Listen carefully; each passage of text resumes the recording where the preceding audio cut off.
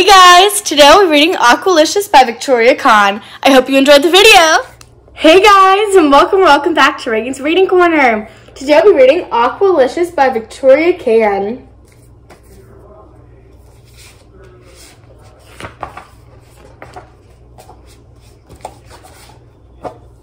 I was collecting seashells. I found a shell and held it next to my ear so I could listen to the ocean. Instead of hearing the ocean, I heard a little voice inside the shell. Put me down! I'm trying to nap, the voice said. Eek! I screamed. I was scared, but I was also curious. I looked inside the shell. I saw a little face with long hair. Can you help me? said the little voice. Help you? What are you? I asked.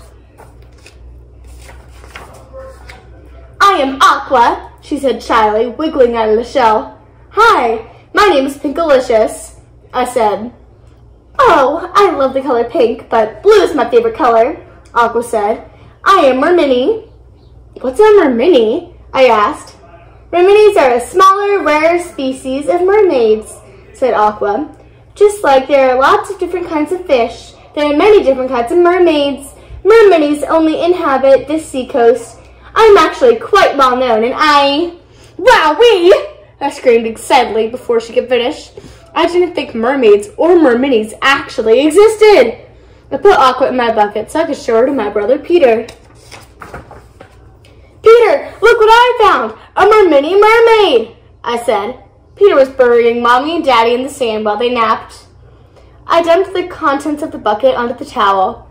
Say something, Aqua! I commanded. I was actually speaking to you when you put me in your pail of periwinkles, hermit crabs, and seashells, which I do not appreciate. Hermit crabs bite. I'd like to go home now, please.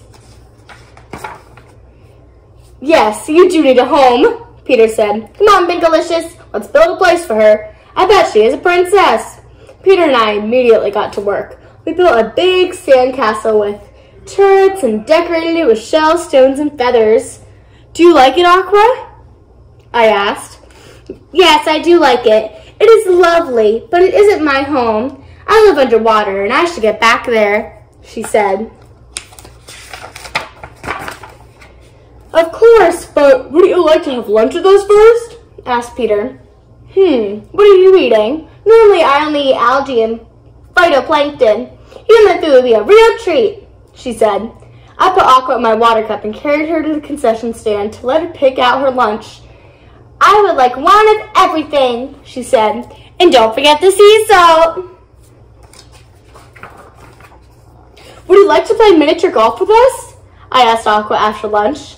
All you have to do is hit the little ball in the hole, Peter said. I'll help you, but then I really should be going. Aqua said as she hit in the hole on the putting green. Just hit the ball and I will grab it. Then you will win. That's cheating. I don't want to play if you can't play fairly, I said, stomping back to the beach. Sorry, Pinkalicious, Aqua said. Perhaps I can teach you to surf? Just balance on this board and ride through the waves like this. Whee! This is fantastic, I said. Uh-oh, Pinkalicious. That looks dangerous. I'm going to wake up Mommy and Daddy if you're going to stay in the water, said Peter from the shore. Suddenly, a seagull grabbed Aqua and flew away. Help! Help me! Please don't let it eat me! Aqua screamed. She dangled from its beak.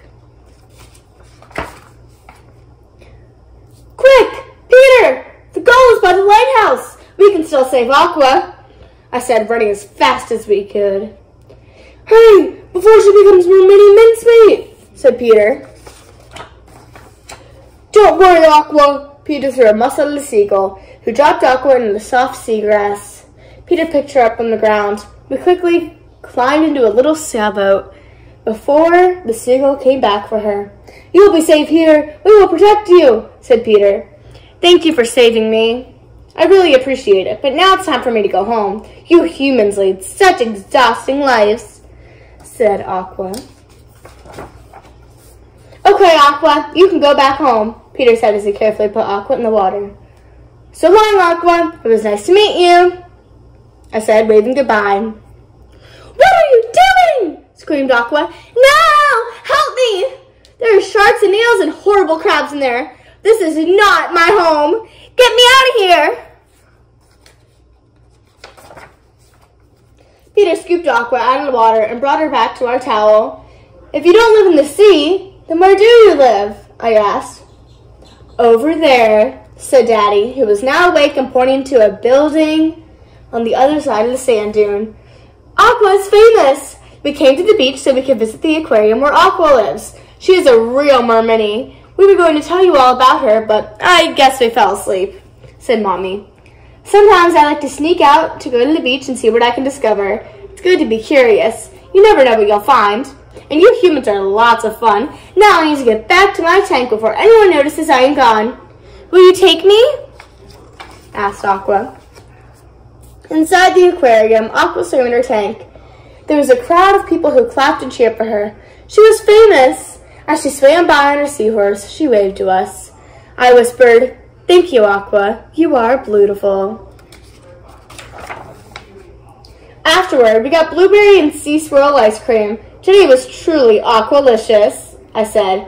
Who knew that collecting seashells could be so much fun?